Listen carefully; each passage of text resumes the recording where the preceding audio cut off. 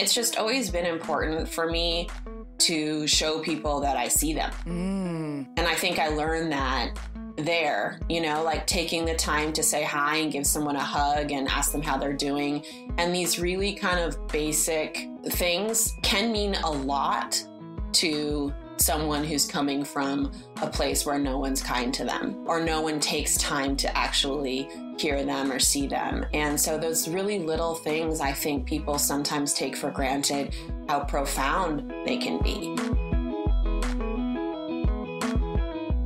Hi, everyone. I'm Amy. I'm Jaime, and this is Clever. Hey, before we get started, would you do us a quick favor? Please rate, subscribe, and review us on Apple Podcasts. It really helps us a lot.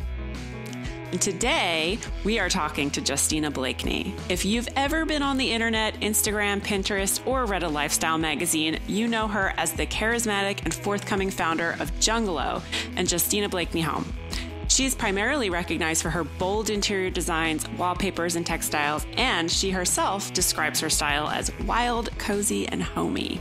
She's also noteworthy for being a super badass entrepreneur and has built what seems like a beautiful, warm extension of her authentic personality into a very successful brand.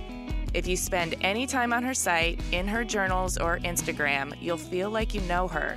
And then you will want to hug her. I know because it happened to me. Let's talk to Justina.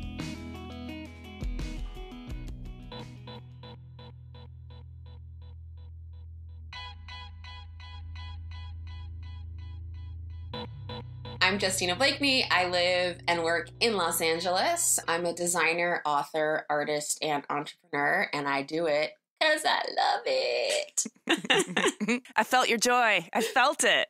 So, I want to know more about little Justina. I want to know where you were born, where you grew up, what your hometown was like, your family. Like, just give us the whole Yes. picture. That took me a second because there wasn't a little Justina. There was a little Tina. What? I was like, I was like, who's little Justina? Uh, Tina was your nickname as a kid? Yeah, I grew up being called Tina. And, you know, my real name is Justina, and I only reclaimed it almost in my very late 20s and started going by Justina again. So there's this like divide of people who call me Tina or T and people who call me Justina. And I always know like what era in my life I know you from based on like what you call me. Yeah, I don't So, see you yeah. as a Tina. I see you as a Justina. So, I must be in this part two. I never saw myself as a Tina. Like it never really felt like totally like me. So that's why I went back to using my, or I went to using my original, my real name. Um, yeah. So I grew up in Berkeley, in Berkeley, California, which is, you know, in the Bay Area. It's a university town.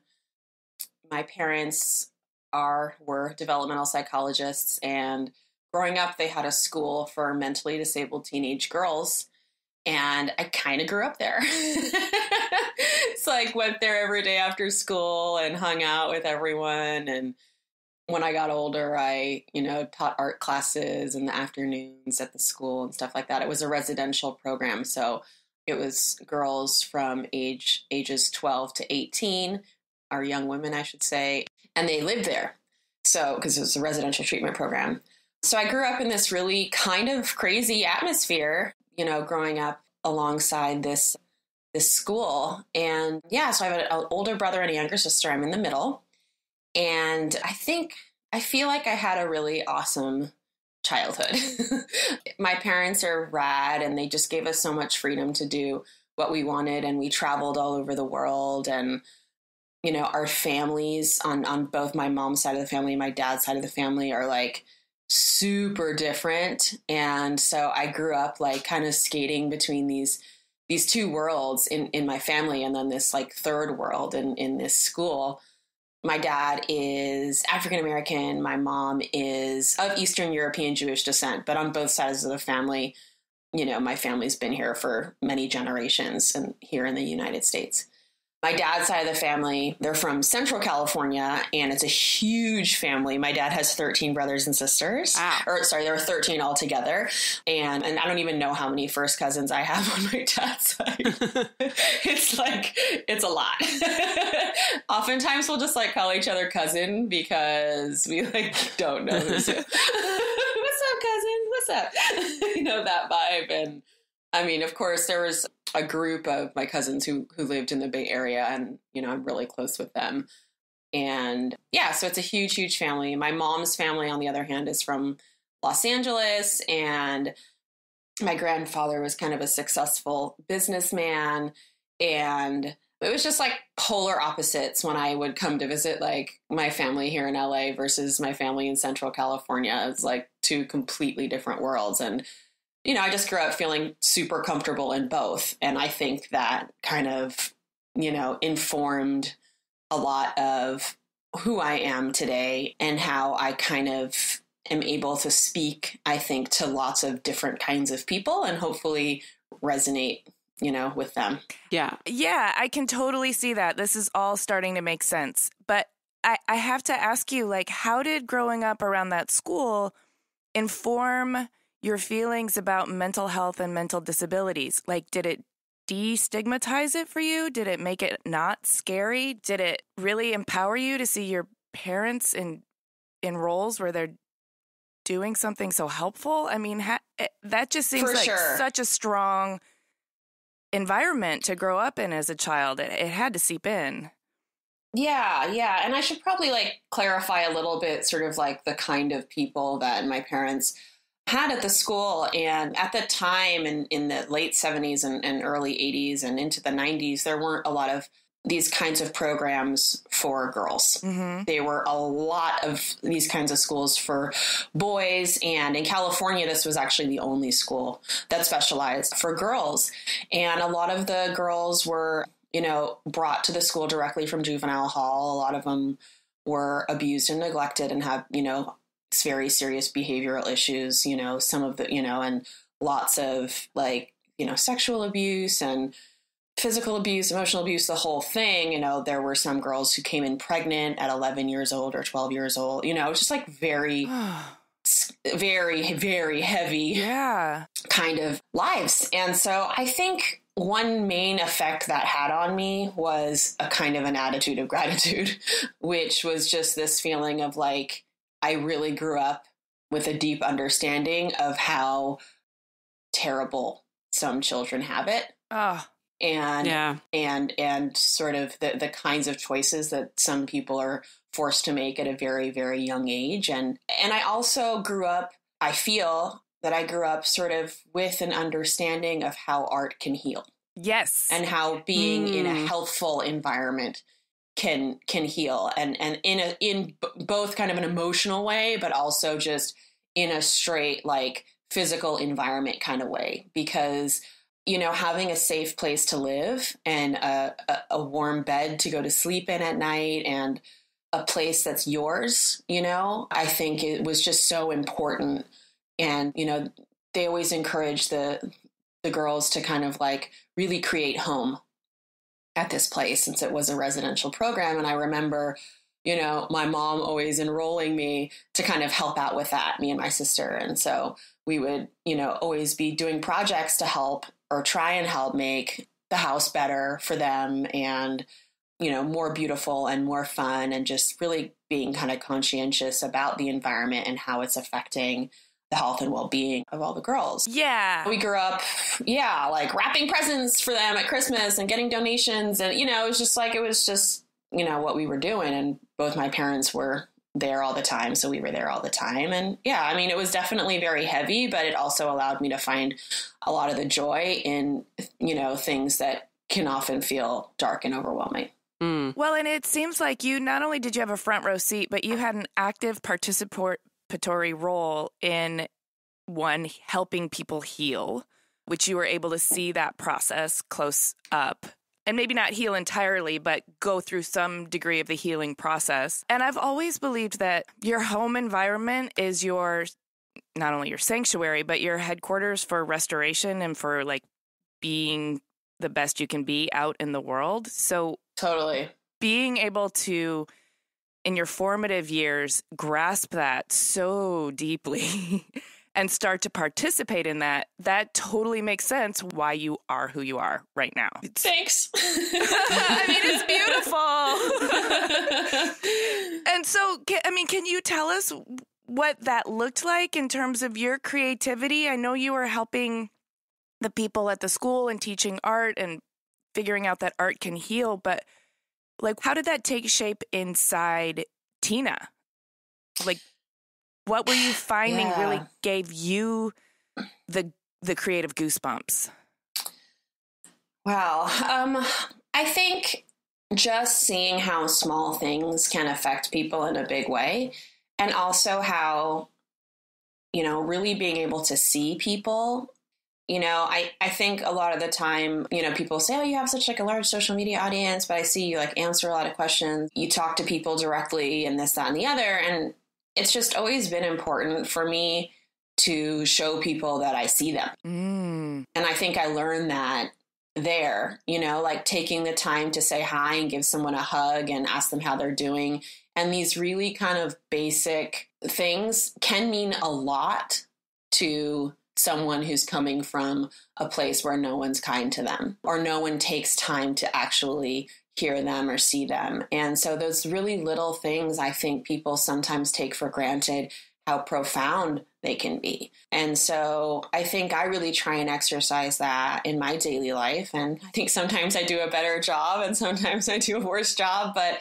but I really feel like growing up, you know, in a position of privilege mm-hmm. and growing up around people who are, you know, really at the opposite end of that spectrum, it just gave me a lot of perspective, you know, and and as far as like the art goes, I just remember seeing how on the faces of of these, you know, young people, their faces just light up you know, and and really how through the process of like collaging or painting, it's it's cathartic. I think it's a very cathartic thing. And even in a sort of like a half hour after school, you know, painting class, it was a moment of lightness, you know, mm-hmm. and a mm-hmm. moment of just really being able to kind of relax and and I could see that on their faces, you know, even when I was like 15 or 16, it was like just so so apparent how powerful art was as a medium to really heal.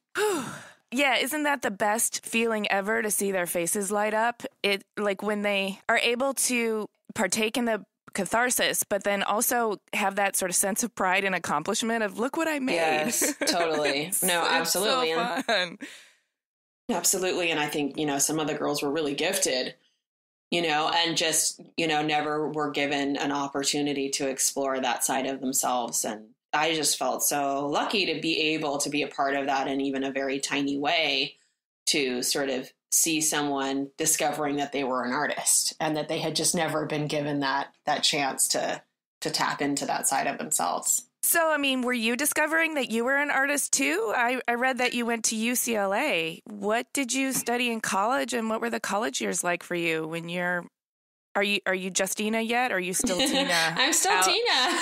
out in the world, like figuring out your own identity. yeah, no, for sure. And I think, you know, obviously as someone who's, you know, multiracial or, you know, multicultural, however you want to call it, I, I definitely you know, I, I had my own identity issues going on for sure. When I decided to go to UCLA, it was really kind of like on a whim. Like I didn't really, I really wanted to go to Yale and study theater, like Angela Bassett. I was like, I'm going to be like Angela Bassett.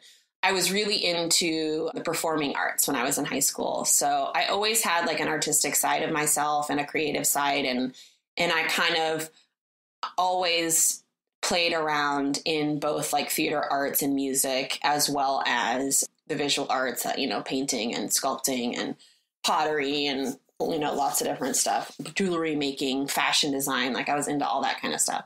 I knew I was always like a very creative person. I just wasn't really sure what form that was going to take in college or or beyond. Like I, I didn't know what I wanted to do or I how also, to make a livelihood. Like I don't know. Yeah, yeah. I didn't know what like my job thing was going to look like. And right, yeah. So when I got to LA, um, there was you know it was a big place. And I mm-hmm. discovered very quickly that I didn't really want to pursue the life of trying to be an actress or a musician professionally. And I think that's probably because I've always like wanted to make money. And Good for you. yeah. I just i you know I, i've always been a really really hard worker and i've always seen how if you have money your life is so much easier. And it's much easier to help others if your shit is on lock you know? That- so it took me forever to really grasp that because I was really struggling with this. Like, am I materialistic if I want to earn money, or like, can I be creative and and earn without selling out? Like all totally that baggage that comes with a creative lifestyle, I Mhm. really struggled yes with. And i then did it just too for a while but it was it just yeah, and- became so clear to me that you can do more good in the world yes if you're not suffering and struggling Totally. yourself.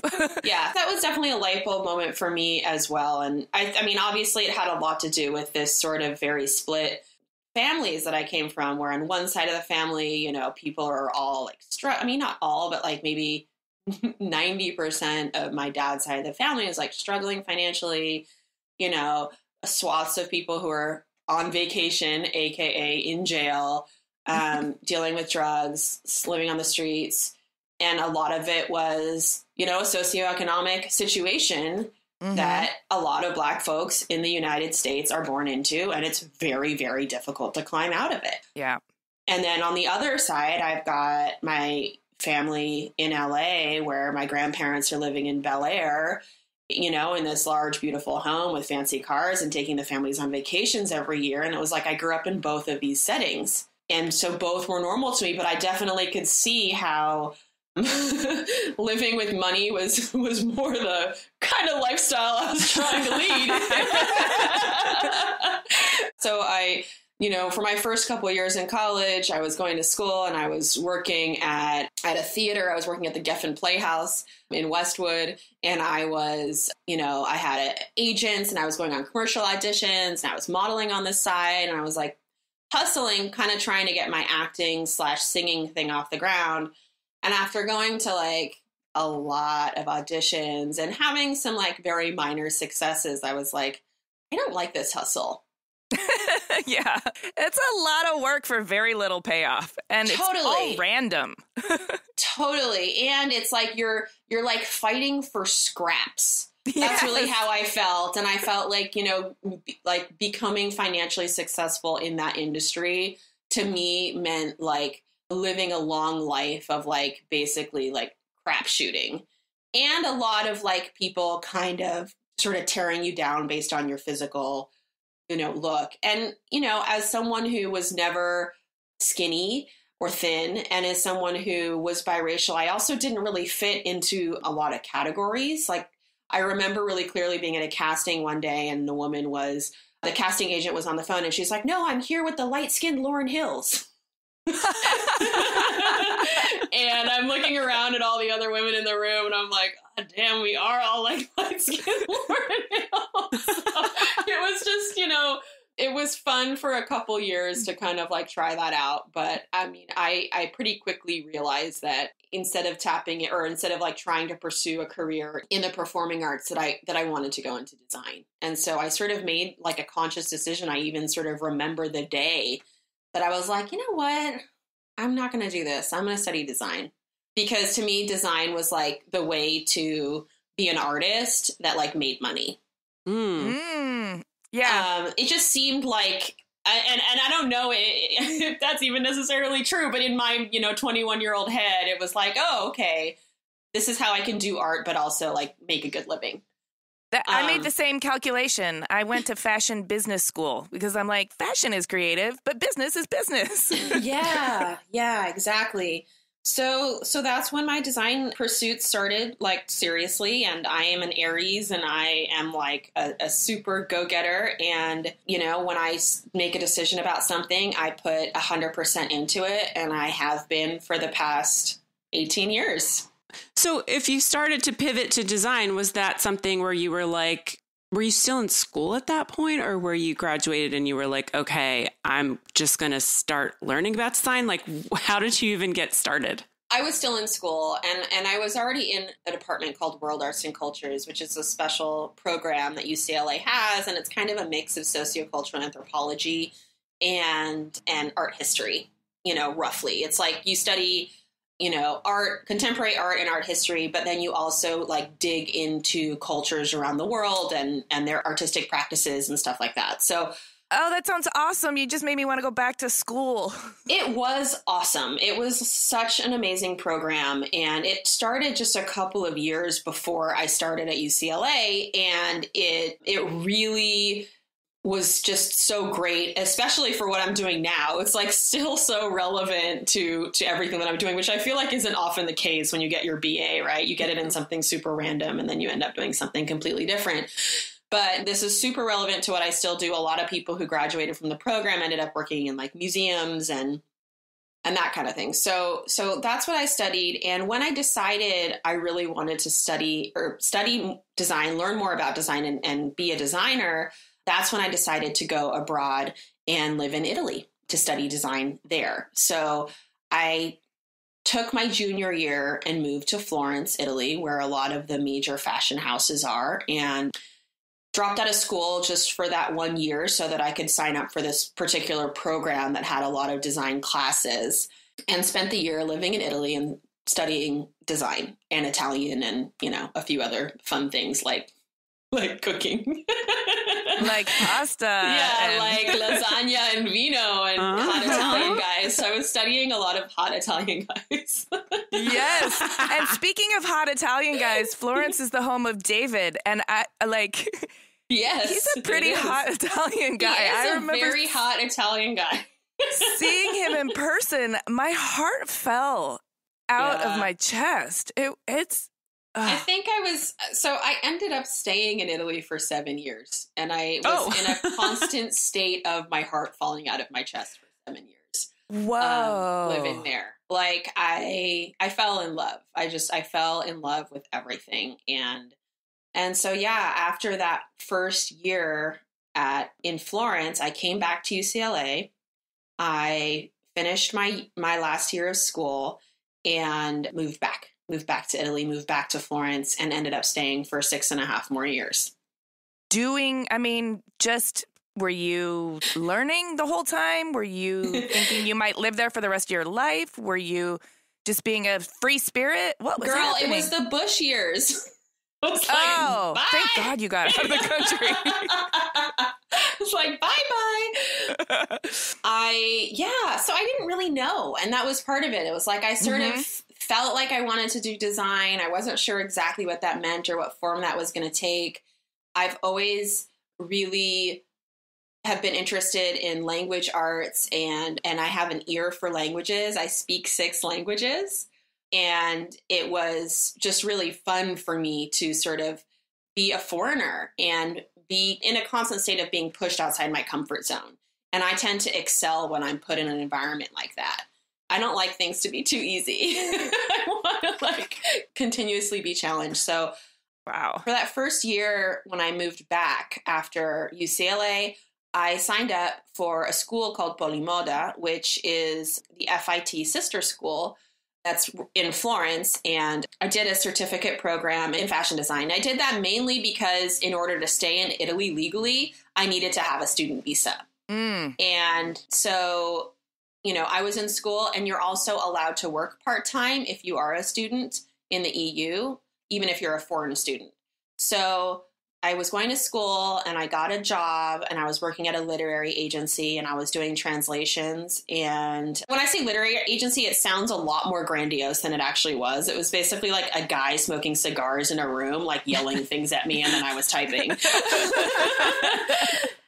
and that was a really interesting job and it was really interesting because i didn't really know what i was doing but like i was i was doing a really good job of pretending and he was like i want a website it says on your resume that you know you you do some design stuff. And i was like yeah okay yeah i'll figure it out. So that was my first experience. Like i designed the website for the literary agency like figured out how to get it online which was like kind of like weird. I was like i don't know how this stuff gets up there. And the internet like no still this is gosh, what year was this? This is 2001, right? Oh, yeah. um, uh-huh. I remember. I started to just like, and I've always been like that, like very self-taught and just like figuring out, you know, how how to do things on my own and And so I taught myself how to how to design and program websites for that job.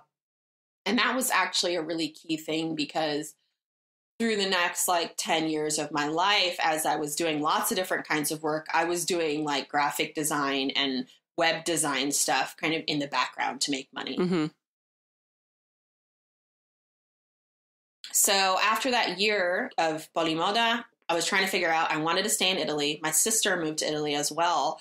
So we were there together and we're like, we want to stay. What can we do? How can we figure it out? And my boyfriend, Danilo, at the time was finishing up his law degree. And so he was really instrumental in figuring out how we could stay in Italy. And the way to do it was that we started our own business and then hired ourselves as the CEOs of that business in order to give Oh. ourselves green cards. What? this is fascinating and awesome and very DIY in the best possible way. Working the system. I love it. Working the system. I mean, we slept at La Questura, which is like the police station where they give you your, your green cards because we were in line with like, you know, hundreds of refugees trying to get asylum and like, you know, it was a very crazy experience trying to to get our papers, but we did it and we started our own business. And so, you know, we had we had made up this business and now we're like, okay, well now that we're allowed to do it and we're allowed to stay, we've got to like figure out what we're going to do. so we started our own design studio and it ended up taking many forms.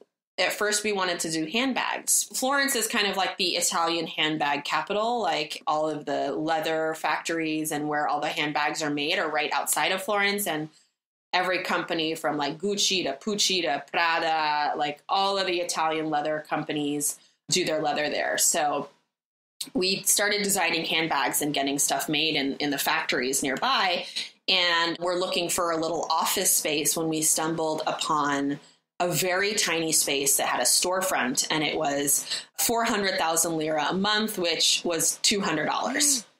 And it was in the historical center of Florence. And we were like, oh my God, we could have a store. And so Ah. we ended up opening up a little store. Oh my god, so fun. it was so fun. It really was. it was so fun. And at this time in Italy, like vintage was not a thing Okay. that was big. And, you know, I grew up in Berkeley and like coming to LA all the time. We'd shop Melrose with my grandma and, you know, we were big vintage people. And so we were like, we're going to open a shop that has designs from our friends from the fashion school that we just finished that year long program in and vintage. And so we opened up this little shop. It was mostly clothes, but we also sold like Objet d'art and like, you know, smalls and things. And I was shopping on eBay and getting stuff sent. And we were like going on weekend trips to different parts of Italy and even into like Germany and Switzerland and other places shopping. And that was my life for the next like five years. Damn. Oh It sounds like a fantasy. It I really mean, times aren't like that now. I mean, there's some nostalgia baked into that too for when things were cheap and when vintage was an idea you could really get behind. Totally. And I mean, we were so naive. Like our I I was so naive. Like we had no idea what we were doing. You know, when I had decided to go to UCLA, it was in part because my mom and dad said to me, "Look, you could go to one of the fancy East Coast schools if you want." You know, I'd gotten into, you know, a handful of kind of liberal arts schools that sounded really dreamy. Or they said, "When you graduate UCLA, you'll have $20,000 to like figure out like what you want to do with. So I had this like seed money basically because I had gone to a public school that my parents gave to me. And so, you know, at the time, $20,000 lasted really like I could really stretch that out in Italy for for a long time. So, um, but I will say that in those 5 years of running that store, we never made any money. Like we made enough money to like live there and and not a penny more.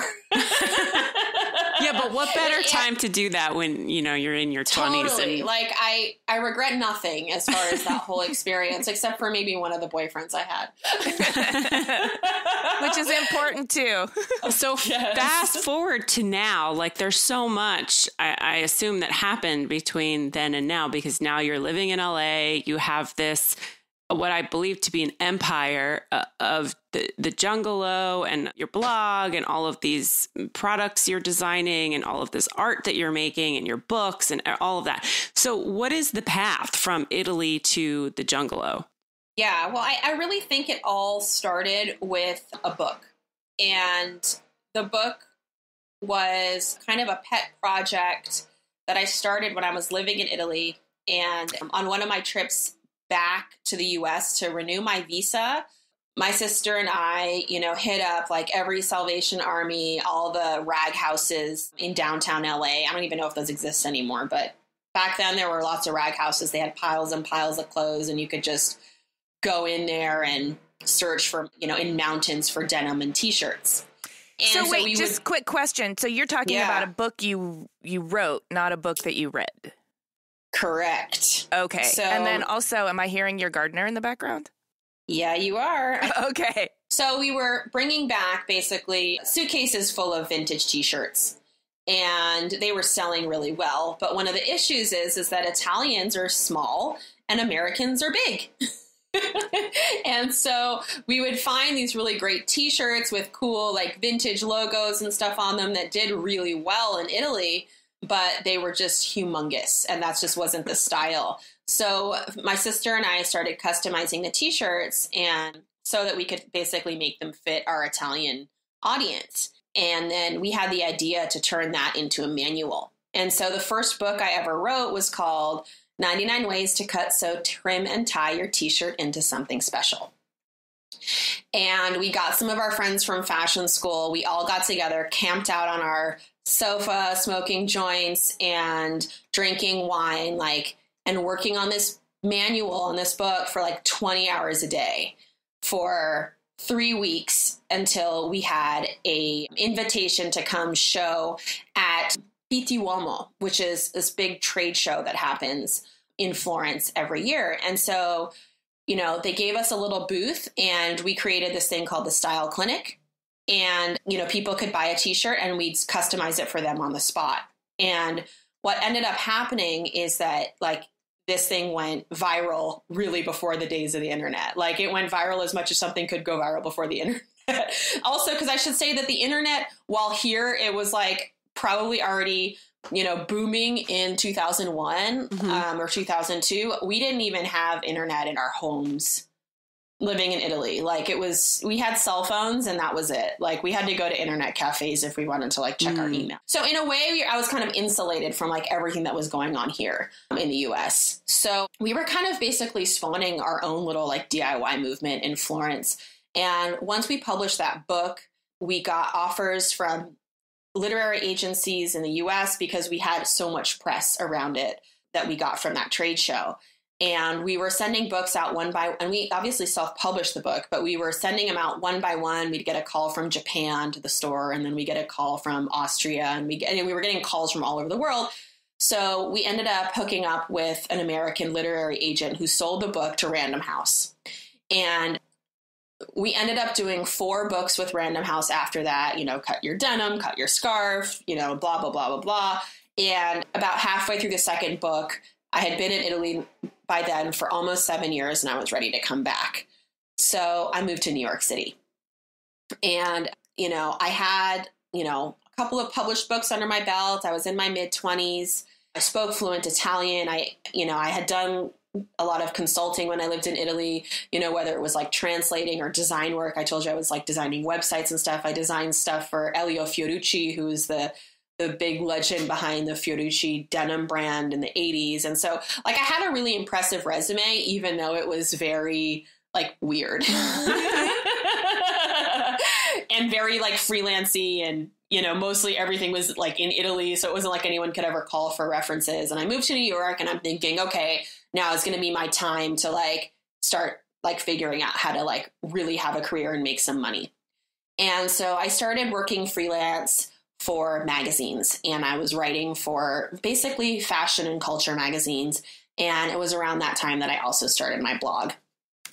And this was like 2007, 2008. And I was living in Brooklyn and, you know, working freelance. I was doing everything from like tutoring in Italian to designing websites and logos. I was an editor at a now kaput magazine called Venus Zine.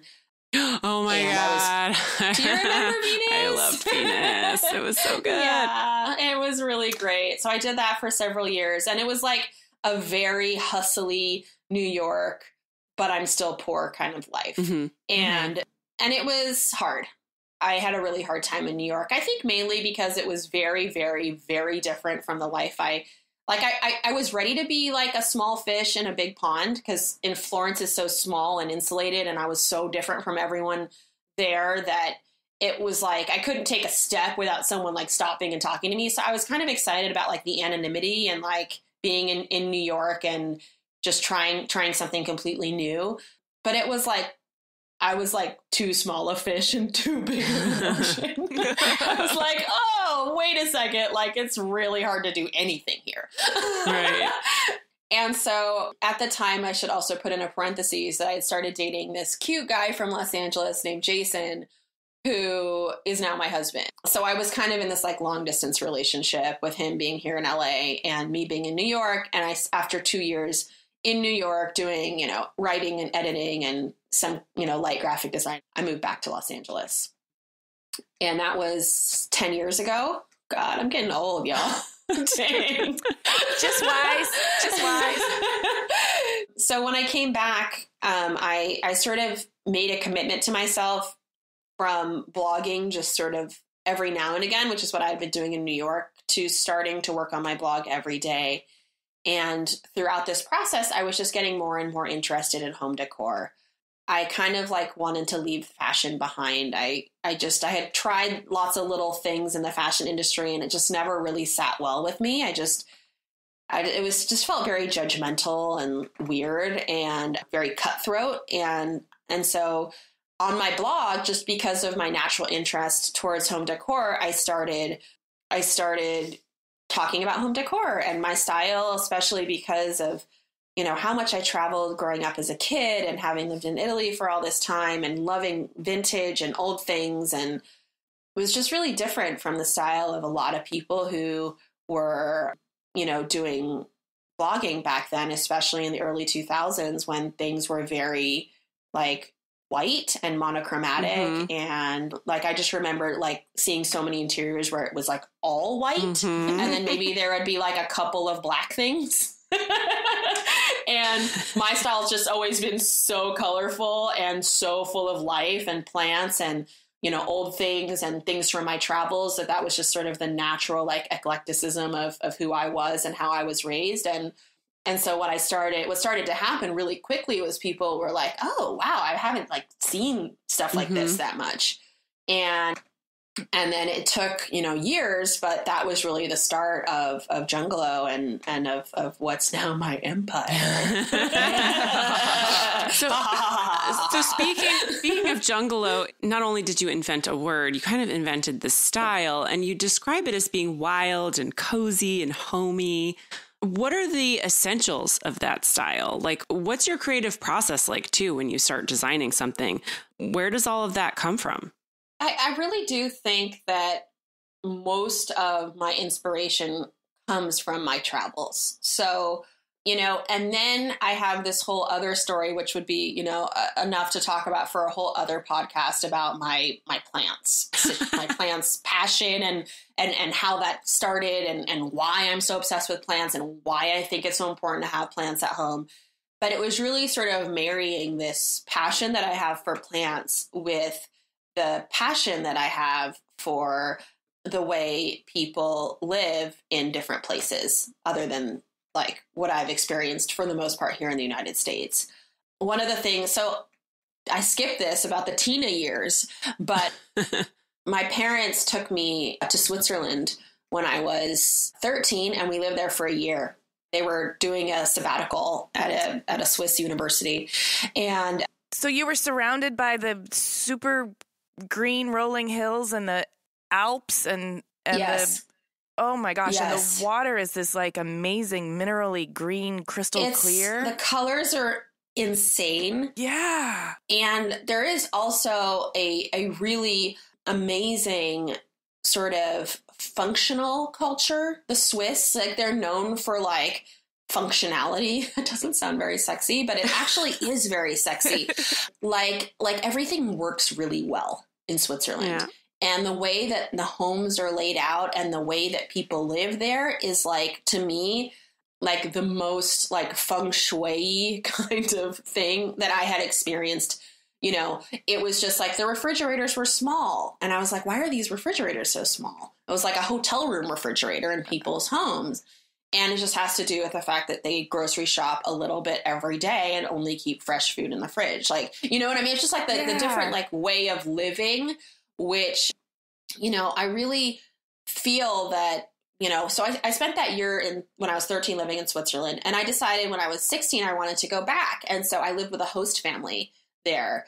And and and so I spent two years living in Switzerland before I was 17 and you know that's why i learned to speak german and i learned to speak french. And i i learned this other completely different way of life that felt really healthful to me. The swiss felt very wholesome and healthy. And i like was kind of trying to understand like why that was. I was like eating cheese and yogurt and chocolate every single day. And i came back like 30 pounds later than when i left. Like for you just just just just because i was living there. It was like magic. I was like oh my god Those things are joyful, and if they're not super processed and if they're fresh, I mean, the Swiss are also known for their neutrality, but it seems like maybe even a better way of framing that is they're drama free. If they're Totally. just That is- paring things down to the essentials and not trying to engage in stuff that's unnecessary, Totally. then you can focus on what's important.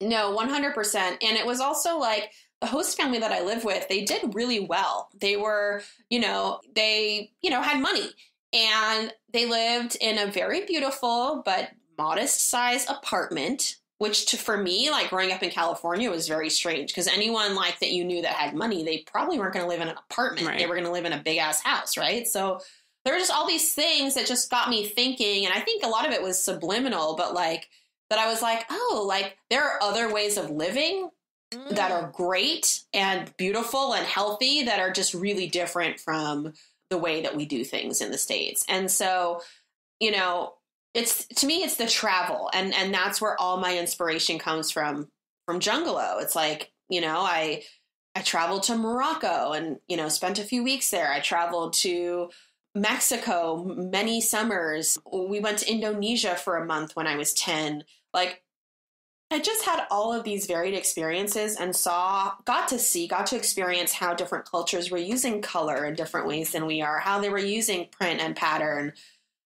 It just, it, and it wasn't like a, you know, necessarily like anyone was sitting there and being like, oh, this is how we use print and pattern in mm-hmm. Indonesia.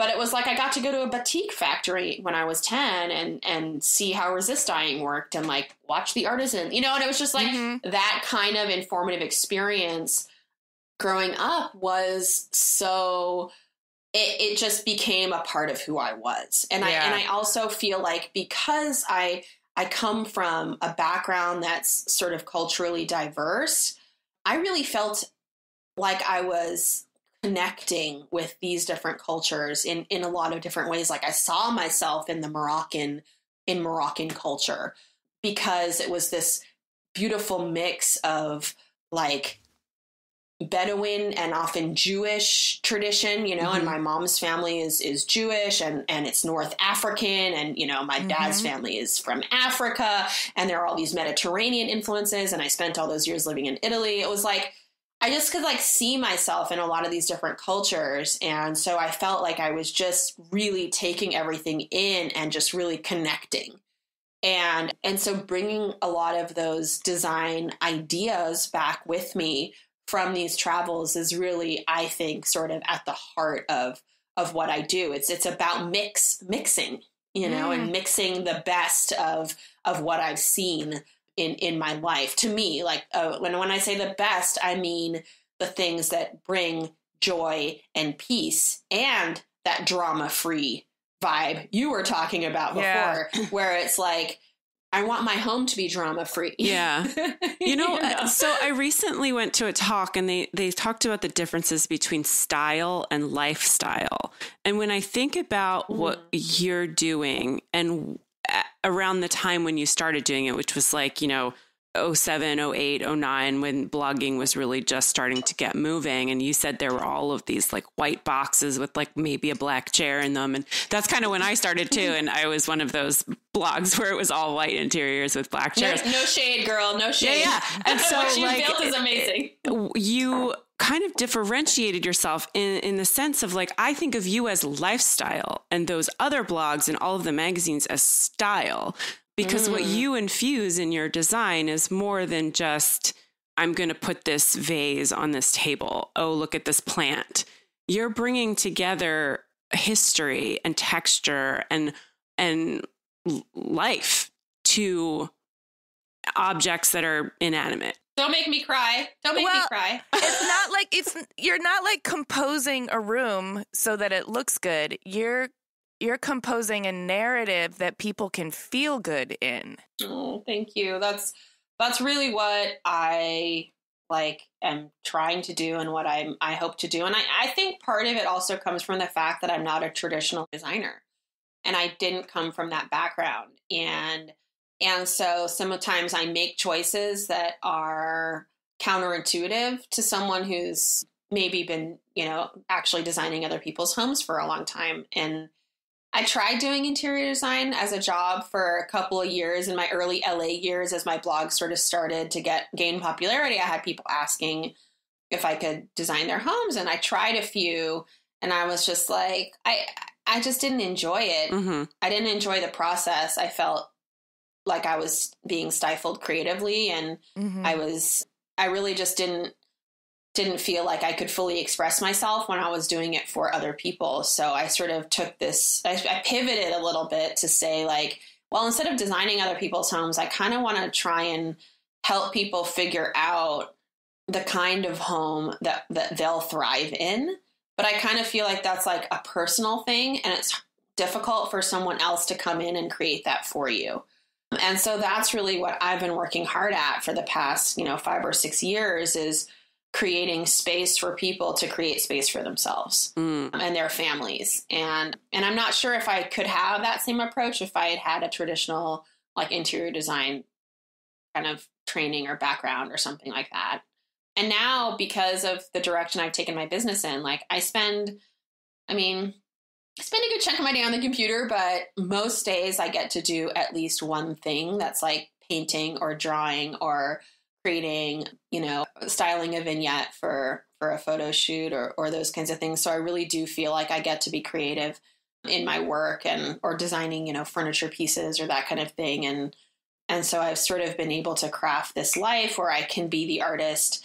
I also get to do kind of performing arts in a way when I do, you know, speaking engagements or you know brand ambassadorships and I get to be in front of the camera and kind of share my light and my story and I really do feel like this journey that I've been on. I almost sometimes feel like it's like Slumdog Millionaire. And you guys remember that movie where yeah. he had all these like crazy experiences, almost like just so he could win that million dollars. yeah.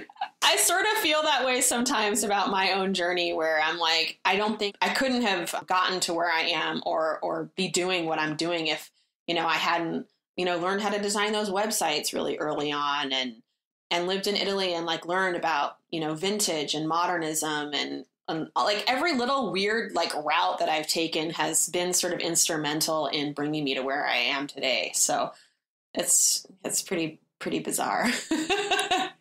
it's pretty bizarre and awesome, but it I mean, is awesome. you can't do all those random things without, you know.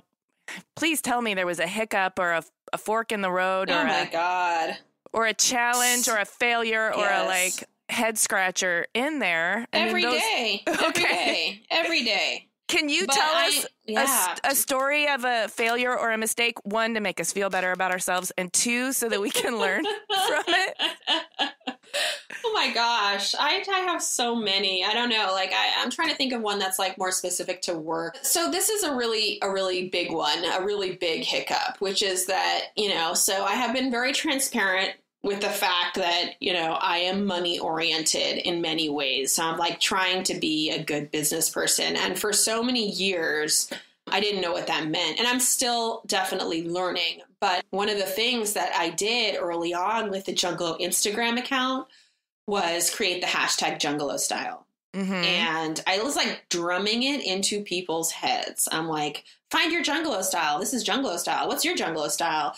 Like until, you know, we have almost a million like tag. I don't even know how many. I have I haven't looked in a long time. But last time I checked, we were around like 500,000 with like people's hashtagging Jungalow style and just like really proliferating this this movement and this message. And so as I was talking to an attorney about, you know, my work and this and that, and she's like, "Well, do you ever plan on selling your business?" And I was like, "Honestly, if the price is right, like, yes, bring it, you know." Just cuz I'm always sort of looking ahead and seeing seeing what's next. And she's like, "Well, then you really need to stop using Jungalow style as a term and you can't really be proliferating your brand as a style because you're genericizing it." I was like, oh. Record scratch. Er, er. She's like, you're turning your brand into a generic thing, whereas anybody puts like a basket and a plant on like a colorful tablecloth, it's Jungalow style, but none of those products are yours. And so we had, I had this whole like, it was a crisis. I was like, I can't use Jungalow style. And at, meanwhile, I've been like screaming it from the top of like mountaintops. It's in articles like from, you know, Architectural Digest to Haute Decor to like, you know, everywhere. And all of a sudden, she was basically telling me that I was going to be making it impossible to sell my company eventually, if that's what I want to do, mm-hmm. if I continued to like tell people to own. To, to own this style, which is what I really wanted. And it wasn't just a crisis of, of sort of, oh gosh, you know, what if I can't sell this later? It was really a crisis of this is my message. Right. I want people to to take this and run with it. And how do I do that without harming my intellectual property? And it was like a real crisis. And I'm not even totally out of that crisis yet. What the main thing that I did was just stop using the hashtag myself. and that was like pretty much it. There's not much else I can do. Um, but but that's just one example of of a, of a pretty serious hiccup. And you know now I've been working closely with like an IP lawyer to make sure that all of our intellectual property is protected. But yeah, I mean, but seriously, like, I mean, we go through so much at Jungalow, like for every i mean everyone's like oh my god you're blowing up. You have so many partnerships. You have so many this you have so many that. I'm like for every one thing you see that comes out there was 10 that was like in the pipelines that whatever for whatever reason didn't work out. Mm-hmm. oh, i yes. The amount of effort that goes into one project also encompasses like the 10 projects that got started but never got off the ground or exactly all the r&d like, went yeah. into it and it just fell through for some reason. Yeah, and it's so like it's so many and it's such part of the process now that I literally like and and you know, I'm blessed to have a lot of opportunities come my way, but I am never I don't even tell anybody about anything. I don't until it's like almost done. Mm-hmm. Because so so so much of the time for reasons both in in my control or out of my control things don't work out. Mm-hmm. and, and and that happens way more often than than it happens that something does work out. Right. I had to negotiate with my parents. When i tell them about stuff that that might happen i had to tell them but you're not allowed to ask me any updates on it until yeah, I because they just totally. want to hear good news, right? So they're like, "So what's going on with this? What's going on with this?" And mostly yeah. it's like, "I don't know." Well, when will you know? I don't know when I'll know. It's yeah. like well, the timeline's totally. out of my hands. And then that and just makes them frustrated. So I'm like, you're not allowed to ask until I have good news for you. And then I will you will be the first people I tell. I know. Well that that's that's just totally my same situation. and then the other thing that I mean I think I should say to put all this shit in perspective is that now I've been running Jungalow for 10 years and I know that from the outside everything looks like really big and empire and crazy. But on the inside, like the inner workings of the business, we're still really small. I have three full time employees, and then it's my husband and I, and we, you know, he helps me with a lot of different stuff, but he's the primary caregiver to our daughter. And we're still totally struggling financially. Basically, every dollar we have goes back into the business. And I haven't figured out how to make that piece of it work yet. And I've spent, you know, the past decade building this brand. And now that the brand is built, I'm like, okay, well, now is really my time to like figure out how to make money because there are definitely months where I'm taking out loans to pay our mortgage. So just ah. know that even though shit seems really like amazing and da da da da, and it is, and I'm grateful for all of it, we are not like balling. Man, I just want to hug you right now. Like, thank you for sharing that. The perception that people have of successful people is is often just skewed because the internet, you know, can present this really glorified portrait, but it can sometimes conceal the hustle and the struggle because that's not good for the brand or good for business, but it's honest and you know, we're both living in LA. There's a high cost of living. I love it here, but it, yeah, it's it's hard. Yeah. And you know, I I, I pay myself a salary now. You know, I I make fifty five thousand dollars a year, and I can't really pay. I can't afford to pay myself more than that yet. So uh, that really I think puts things in perspective for people because you know that's not a lot of money. in LA, it's really not a lot of money. And you know, and that's why when I have opportunities that come by and people are like, oh, you would sell the Jungalow? It's your heart and soul. I'm like, it is my heart and soul, but I've also have lots of other ideas and lots of other things I, I'd be interested in trying out and and all this. So for me, I really do have that entrepreneurial spirit. And I am really ready to like cash out at some point and like feel feel that comfortability that I've been like knowing for years and years and years that is one of my you know goals. And, right. And I, so, I yeah, can feel the universe tingling with that acknowledgement, and something's coming your way. I just feel it for sure. Girl, from your mouth to God's ears, as my mom would say. okay, I want to switch gears real quick because you have a daughter. Yes. And I want to talk about motherhood and the hustle for a minute. Yeah. Like, how do you feel about all of that? right now, today, in this moment, I'm feeling really good. um, we, you know, we have one daughter. Her name is Ida. She's five.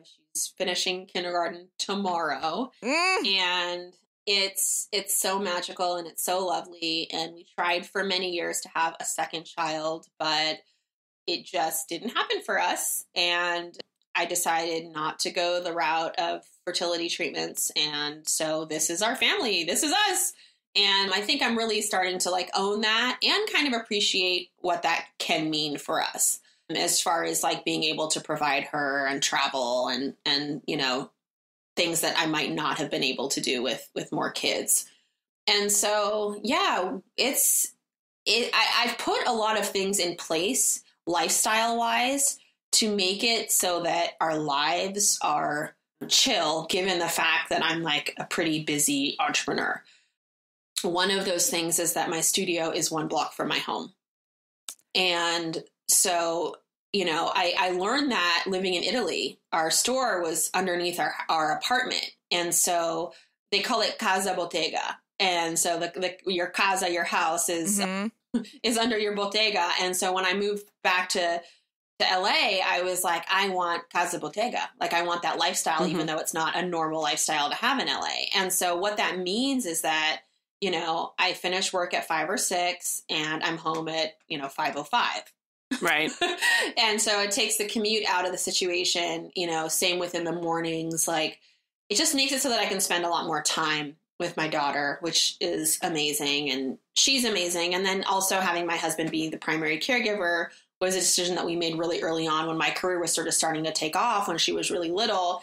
And he was in a career that he didn't love. And so we just made that decision. And it's been, I think, the best decision we've ever made because we couldn't afford to have like a nanny. And it also took a lot of the like mommy guilt mm-hmm. of me being away a lot knowing that she was just with her dad, yeah. you know, all, all day long. So it was really, for our family, it's been really amazing. Now that my daughter's a little, our daughter's a little older, my husband's, you know, working with me more and more, and he's an editor, so he's doing a lot of editing for us, which is great. And he also is HR our office, which is I know we have such a small office, but I hate doing the HR stuff. I hate the hiring. I Mm-hmm. you know everything that goes along with it, quarterly reviews, all that stuff. Like I just I hate it. So he steps in and helps with that stuff as well. So it's been really really great, and I feel like we have a very balanced life. And we're about to do something for myself, my husband, and my daughter, which is like life goals to me. Which is that we're putting a pool in our house, like in our yard. Ah, That's so exciting. Oh, I love it. So we're taking these little steps to kind of like create the life that we want to have, even if it's like in a small way. So like we're talking to the contractor about the pool and our yard is small, our house is small and our yard is small. And he's like, no, this is not a pool. This is not a pool. This is a spool. Small pool. it's a small pool. It's a spool. We're like, you can call it whatever you want. It's gonna be ours. Oh, but So- even just to hear the like the giggling of your daughter when she jumps in the pool and the splashing of the water, like all of that is the soundtrack of joy. Mhm. Yeah, yeah, and that's really what it is for me. It's like, you know, everyone's like, "Oh, why are you putting a pool in your house? That's not going to increase the like, you know, sales value." I'm like, "Well, I want a pool in our house because I want to swim every single day. I want to take meetings from my jacuzzi. Like for me, it's all about quality of life, right? And so like if I can do these things and we're going to take out a loan to put this pool in, I don't care about the resale value. Like, we're going to stay in this house for a long time. I put my heart and my soul into this house. We love it. We're not having any more kids. So, like, even if I do end up selling the Jungalow and making millions of dollars at some point and you know from my mouth to god's ears now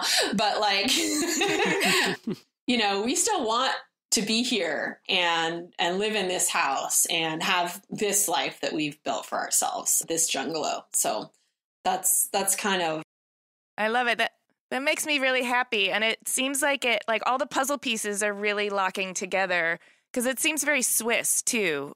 Your Casa Bottega is drama free in that you don't have a commute. You've really designed your lifestyle so that it doesn't have anything that's unnecessary, but you can focus on what's important. And i've really tried to yeah, yeah. Okay, so I have like a random question. You bring mentioned it on you mentioned earlier on that you're an Aries and you're a real go-getter and you you just hustle. What's your rising Yeah. sign? And then like where are are you really into astrology or are you just kind of casual about it? I I go through like moments of being really into it, and then I go through moments of being casual about it. My rising sign is a Scorpio, Oh. and Yeah, um, girl. so don't don't don't fuck with me. Yeah. um, but I really do like see a lot of fire and water in myself, and I think that's like you know when I'm when I when we are hiring people and and going through that, I I like always tell them I'm like. You have to be able to keep up with a really fast paced environment, but you also have to be really relaxed. Can you do that? That's like how I am too. I'm like, I'm East Coast during the day, but at night I'm California. yeah yeah so it's like there's this like kind of like apex of like working really hard and like having that hustle but also having like a really relaxed attitude and vibe and taking things as they come and like not stressing along with like the aries and the scorpio and all that like i'm very susceptible to other people's energies Mm, and yeah, and I know so, about that. right and so i Mhm. really like think it's very very important to surround yourself with people whose energy matches yours or that or fuels yours because i think it's you know i've had experiences in the past where i've been around people whose energies or you know what however their their fire or their water or whatever it is their air is just fucking with my fire or my water or my air.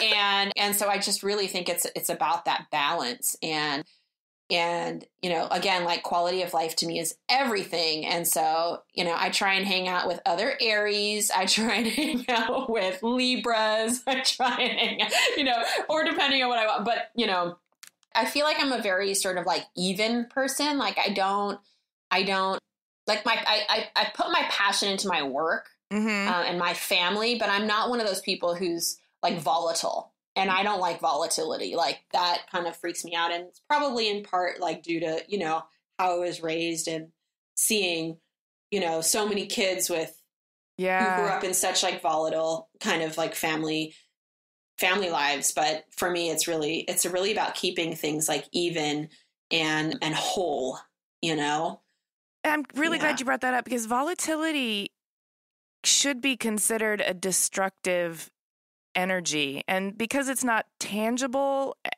and the ripple effect of it is often hard to quantify, it's it's really hard to, for people to wrap their heads around. But volatility is almost always a destructive energy and results in a lot of wasted and and traumatic experiences. Totally. And there is such a difference between, I think, like a passive kind of volatile situation that you're in for whatever reason, or like deciding to change Yeah, something. yeah. Right. So and and there's just such a such a clear distinction in my mind about how bad one is for me and how good one is for me.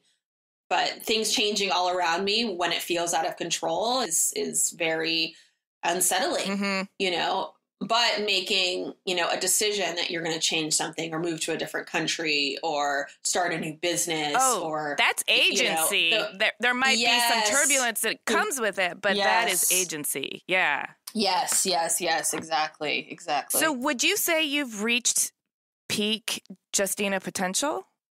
Or oh, hell no girl okay, so okay, thank you. Where, what areas are you like right now in this space and time? Are you challenging yourself to grow? Like, where do you need or believe that you need um, to raise your vibration or improve? Yeah. Well, I think one thing that's so fundamental is my physical health. And it's definitely something that with me has a tendency to take a back seat to other things. And I'm also very physically lazy. Like I could sit in front of my computer for 12 hours without standing up if I didn't have to pee. Mm-hmm. Tell me about so it. I, re- I really have to force myself to exercise. And that's definitely an area of, of growth. And I go through spurts of like being really into it, and then I go through longer spurts of like not being into it. So yeah, that's that's a really big one for me. And then other things are sort of on a more emotional level or something like that. One of the things that I'm working really hard on right now is speeding up the process time at which I process my emotions about things so Mm. that I can address uncomfortable Mm-hmm. issues more swiftly. mm-hmm. Because what keeps happening, both sort of in my personal life as well as in my work life, is that I'll like marinate on things or ruminate for so long before I'm like able to bring it up with someone that it's like almost becomes less relevant or something like that. Yeah. and that's one of my husband's strengths like if i ever say or do something that like hurts his feelings or you know he didn't think was cool for one reason or another like he'll tell me right there and then and i really like admire that because it just allows us to like squash beef immediately Mhm. Yeah. and i definitely have a tendency to like drag that shit out and like talk to people about it and like ruminate and I really want to get better at that because I just want to be able to face issues head on. I'm also kind of like people pleasery slash like, you know, avoid conflict vibe. And so for me this year, as far as personal growth, I've really been focusing on what I'm calling getting comfortable with being uncomfortable. Okay, so I have a couple of quick follow up questions. How? How are you getting comfortable with being uncomfortable? And then, secondly, I struggle with what you are outlining as well. And I've isolated that for myself. I'm really uncomfortable with other people's disappointment. And so, Me too. because I feel their energy so strongly, I don't want to create a situation where they're going to feel a negative energy that I'm going to feel then dub like from an empathetic perspective and then also Yep. from a very like physical perspective. But Yes. it's really helpful to recognize that the quicker you squash that, the quicker everybody's like boundaries are reinforced and everybody's confusion is eliminated and everybody feels better. And there might be an initial disappointment, but it dissipates really quickly. Yeah, totally. So the way I've been, the answer to your how question Yeah. is is what I've been doing is trying to listen to my inner voice more hmm because oftentimes someone will say something to me and I'll respond in my head. Yeah. And and but on my face I'll just like smiling and nodding. you know? And so what I've been really trying to do is to when I hear that inner voice actually just saying it, which is hard. Mm-hmm. Like if it's at work and one of my employees does something that makes me feel uncomfortable, it's really hard for me right then and there. Like like so let's say last year. Last year if someone did something kind of drastic that I wasn't happy with, I would like basically like log it or talk about it with my husband and then like we'd bring it up at a quarterly review. And like or not. Right. you know? And like that's the kind of beef I'm trying to squash immediately. So if someone does something at work, at home, in my family life, a relative, whatever. It's like, and if I'm saying in my head, like, no, but that's actually not accurate because of this, that, the other, I'm like forcing myself to say it out loud. I'm also sitting in awkward silence.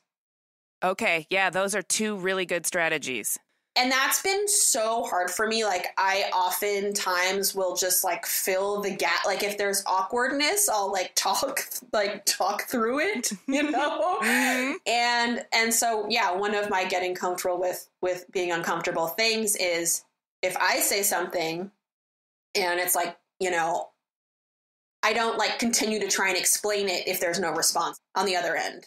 I just sit there and like wait for them to say something Yeah. I mean? Mm. It's hard. It's really hard because it's like so awkward and like all I want to do is make nice. All I want to do is make things feel good. But yeah, so so those are those are some big things I'm working on right now just for myself and yeah, and and it's hard, and and then of course there's the business stuff, which sort of you know on that side I've I've always been like I'm not a good business person. I don't know math. I'm not good at numbers. I you know this that and the other. And what's become so so clear to me like over the years of running this business is I actually am a really good business person. Yes, and you are. Thanks. Thanks. Yes, yeah, I've been like hard on myself about that because like I don't know about like investors or like Nasdaq. I don't know what Nasdaq is. like stuff like that. I'm like, I don't know about this stuff. And you know, my accountant last year was like, you know, your 401k, you're this, you're that. And I'm like, I don't know what any I don't I don't have any of that. I don't know. I need help. Like what? I mean, especially since, you know, I was I was in Italy for all my 20s. You know, I was there for, you know, from the time I graduated from college until I was damn near 30. So, like, I missed out on a lot of stuff. When I got back, I um, didn't have a credit card. And people were like, oh, just go to Macy's and I'll give you a credit card and you can start your credit, you know, whatever, like that. So I was like, okay, cool. I went into the city, I went to Macy's and I got denied. so, like, I've just been like learning about all this stuff but the the bottom line of of what I really have learned and of watching people who I consider to be really savvy business people over the years is is that business is about people. Mm. And if you can be good with people and if you can read people and if you can convince people of things and if you can you know share your message in a powerful way, that's like more important than any of of of the other sort of like terms that I might not be familiar with yeah. or or even math you know because it does i can i can have someone do that for me. Right yeah, i can't have you know I, what i can't have someone do for me is is you know build a brand. Right. So speaking of your brand jungalow justina blakeney home you talked a little bit about exit strategy but do you have any other big goals whether they're long-term goals or short-term goals I do. I do. So, one of the reasons why we're still kind of struggling financially is because um, all of the products that we currently have out, and it's a lot, we have 14 licensed collections out right now. I, I know I can barely keep it straight. Crazy. yeah, it's a lot, but it's all it's all licensing, which means that we get like a small a small percentage of each sale of each item. And last year, we launched our online shop at shop.jungalow.com. And that was one way to kind of help pad the fact that, like, if we sell $100,000 worth of pillows, we're making $7,000. and you know or 4000 or 5000 depending on you know what our royalty rate is after taxes that's not a lot of money for a hundred thousand dollars worth of pillows. So one of the things that i'm currently trying to figure out is carving out a category that i can own myself and do the manufacturing on which is really scary. And I've been avoiding it for many years. A, because the licensing is so fun and relatively easy because it, I'm just focusing on creative and marketing. And I don't have to deal with like going overseas or dealing with manufacturing and, and all that stuff. I can lean on other people for that. But if I'm ever to really make, you know, a, a, decent amount of money, I have to be manufacturing my own stuff.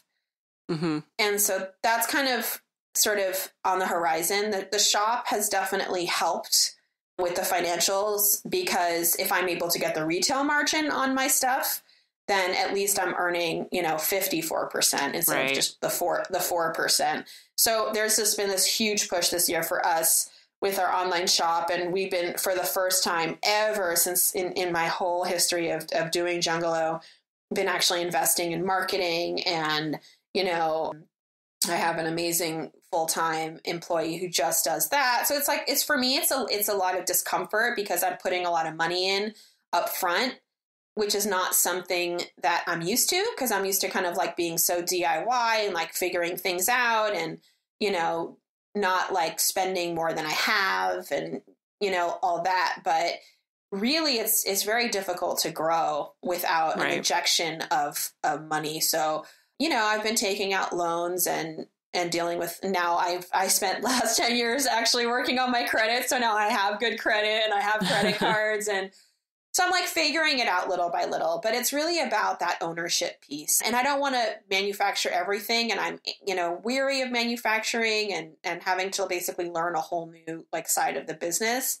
But I also know that if like just licensing isn't really going to be enough to float my my business and my family and and everything else and or my you know my life goals basically so. Do you have a a short term thing that's coming out or something you just launched that you want our listeners to know about? So i think probably the thing that i'm most excited about right now is our textiles. So i have a textile line and it's probably my favorite thing to design also just because it has so many different applications and you know they're all taken directly from my watercolors or my pen and ink drawings. And we just came out with a new line of inside out fabrics. And so it's a performance line.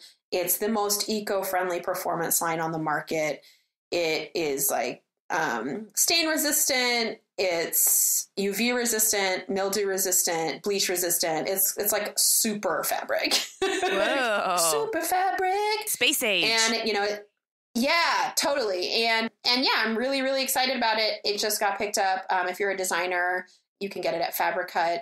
If you are not a designer, you can get it at Calico Corners. And what's just been so fulfilling for me and so exciting and so fun is starting to see people get creative with my fabrics and um, do things I never would have thought to do or imagined to do. I have several people online right now reupholstering the insides of like airstreams and stuff like that. And it's just so much fun for me to see my artwork being used in this way. And yeah, for me this is like more fulfilling than than designing people's homes because what I'm doing and kind of brings back to what I was talking about before is that I'm like inspiring other people to get creative on their own. Yeah. Mm. And that to me is like the holy grail. Like that's really what I'm after. That's what my books, The New Bohemians, that's what those books are about. That's what my blog is about. And whether you love plants or hate plants or love color or pattern or hate color or pattern, like I want you to like be able to create the life you love in the home that best supports that. And so to be able to like make fabric or furniture or whatever that is and like you know, inspire people to do something they never thought they'd do with their sofa or their window treatments. Like for me, that's just so fun and exciting to see. That is Tina helping those girls at the school find catharsis yeah. and healing in their home. It's full circle. Oh, I hope so. I hope so. I've definitely gone through moments of like, you know, my parents just did so much like good. I mean, they saved so many people's lives, you know, and the school's been closed for 20 years. They lost funding, mm. but one of, of the things that has always struck me is I even have people reaching out to me on social media.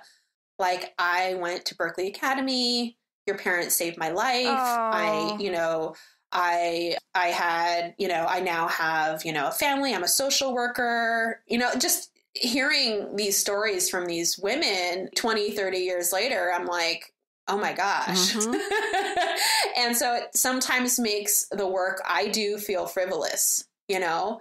because I'm like, oh my gosh, my parents like did so much good work in the world and here I am like at High Point drinking champagne talking about my new rug line or whatever.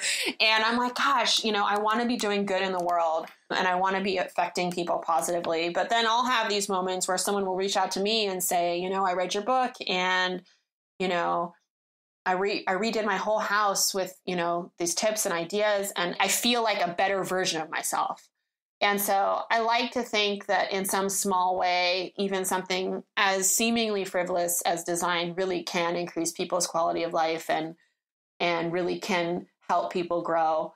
And I'm gonna get teary just thinking about it, but it's it's it's just been so so amazing, and I feel so grateful to be able to be an artist and have that kind of effect on people. So. Well, we we love that you're doing it, and Jaime and I both really feel strongly in the power of design yes. and you're a clear example of you know spreading the seeds of goodness. oh my god, you guys!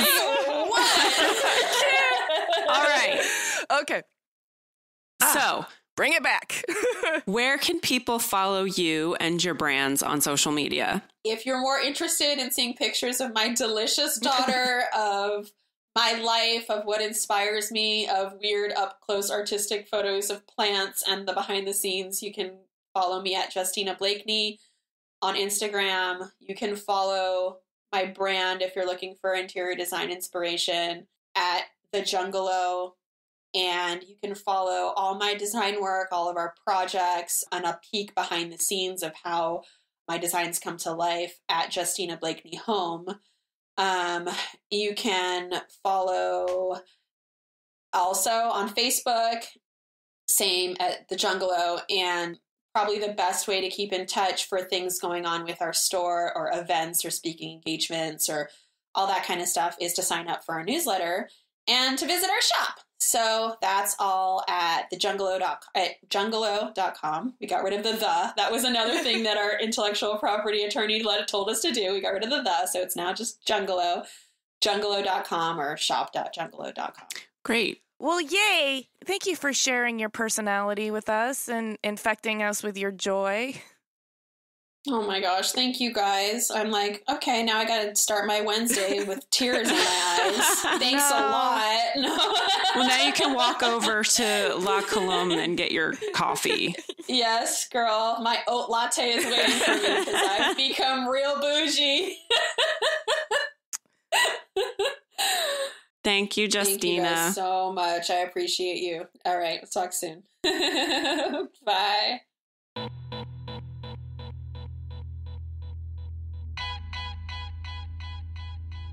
Holy moly, she's a powerful woman. Yeah, with a I, lot of like, a lot of, I don't know, force for good. Yeah, I didn't know a whole lot about her story pre Jungalow, so that was really enlightening to to hear more about all of her travels and living in different countries and speaking all those languages and all of her you know, setting up a store that make, you know, that sells vintage and vintage and handbags in Florence. I mean, that's like those are like the adventures in your 20s that like everybody dreams of having. yes, totally. I also can completely see how teaching art to the girls in this residence, this school. Anyway, they came from environments that were traumatic and needed healing and she saw firsthand how how art could do that, I, of course that's going to make a strong yeah. impression on somebody. And it just, you know, drives the knife in even further that we're cutting all of the arts programs in education in the United States. And I think that's a bad trend. It's not good for no. us, Jaime. It's not good for society. No, art can be so cathartic and healing and stress relieving and just it feels like play sometimes and it makes you happy and that joy can permeate like every other aspect of your life. Absolutely, 100%. It's also a critical component of innovation. And if we ever want to be like tech science leaders, the art component of that at a foundational level is super important because that's the creative application of all these enabling tools. Right. Why don't we run for president? I think we should. Actually, it sounds like a really horrible job. So I know. Honestly, I am pretty good with just having a podcast at this point. Me too. but I am I am impressed with not just what Justina's built, but the authenticity with which she's built it and the transparency with which she conducts herself in business and in creativity. She feels she feels really accessible as a person. Yeah, and she's very honest and forthcoming with information. I mean, she has no problem explaining like her financial situation or, you know, issues she had, you know, being biracial or, you know, she didn't fit into a lot of roles because she wasn't stick thin. I mean, she she's very honest and accepting of herself and who she is yeah. and being able to kind of give that awesome energy out. I know, and I feel like I just absorbed some of that awesome energy and I feel better about myself. She's a positive force.